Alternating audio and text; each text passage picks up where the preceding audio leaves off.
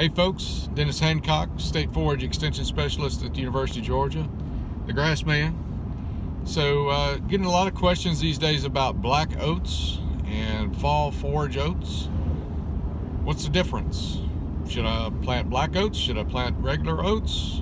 I want to do a little cover crop. I might want to do a little bit of grazing. Might want to even make a little bit of baleage. So what should I do? Well, not a whole lot of guidance out there to be honest with you about the differences between black oats and fall oats or forage oats that we normally plant. It's, uh, you know, I think we have to intuit a little bit from other studies, particularly the cover crop world, where they do use quite a few uh, black oats. Um, officially, there really are only a couple black oat varieties, um, there's a lot of good fall forage oat varieties. And our forage oats, there's been a lot of effort gone into making them a lot more grazing tolerant and uh, disease resistant and, and some other issues. So it's really, I think, if you're going to use them for forage, you really need to be looking at them uh, uh, looking for the forage oats because that's really going to give you the better forage production also can give you a lot of biomass for cover crop work. Uh, and I'm not going to enter into the cover crop world and say that, that the forage oats are better than black oats, but uh, because there's real advantages to the black oats from a, from a cover crop world in that you've got some more lignin, you got more fiber there, and that tends to help them stick around a little longer in the, in the spring. The problem with that is though, the more fiber, the more lignins you have from a forage perspective, kind of limits you a little bit uh, because that lowers your digestibility. So one of the real challenges I think is looking at this from a forage productivity and quality perspective and particularly if we're going to be making baleage off of this stuff uh, you really want to be looking at these um, these varieties that are more true forage oats and and focusing in on those. Plus, we have some fall forage oat varieties now that that have crown rust resistance. Uh, we've got two, Horizon 720 and the new Legend oat is excellent at that. And a listing of all of our recommended varieties are available on our website. But I just wanted to bring those two to your attention because they are crown rust resistant.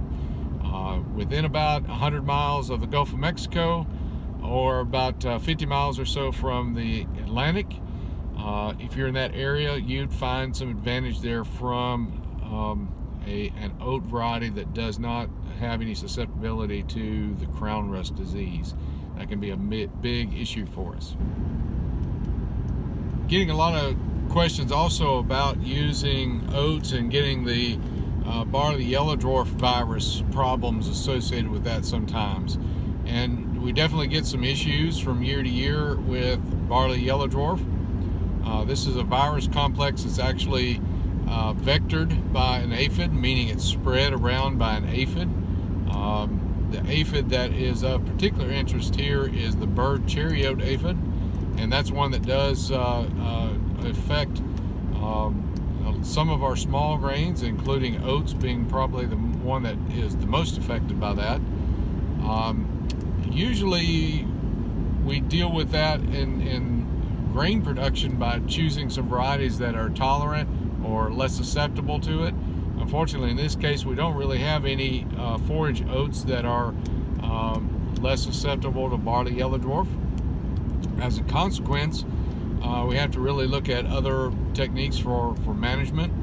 Um, planting date is a, a major issue and uh, mixtures certainly lessen the the risk and will also lessen the injury uh, that occurs. That is, for example, if you have oats planted with ryegrass, ryegrass is not susceptible to it. And uh, if the oats do get affected, then the ryegrass gets that much greater advantage of coming on stronger afterwards. So that's one way of dealing with it too. Um, there are a few seed treatments that can be used. Um, uh, they have pretty long grazing restrictions. Uh, there's only a few of them actually are approved and then allow for grazing subsequent afterwards. Um, I think uh, Gaucho 600 is one that can be used in, for this purpose. uh, pretty pricey, but at the end of the day, it could also be uh, a great benefit in protecting that forage, particularly if you're going to make baleage off of this later in the season. So that is something that um, you want to take a close look at. Um, and, and when you're making a decision of whether or not to use oats, that's something that is a factor. Now, if you're using it for cover crops, really doesn't matter uh, because by the time it um, um, well, I shouldn't say it doesn't matter at all. It does have a little bit of effect because it doesn't have as much biomass as a result.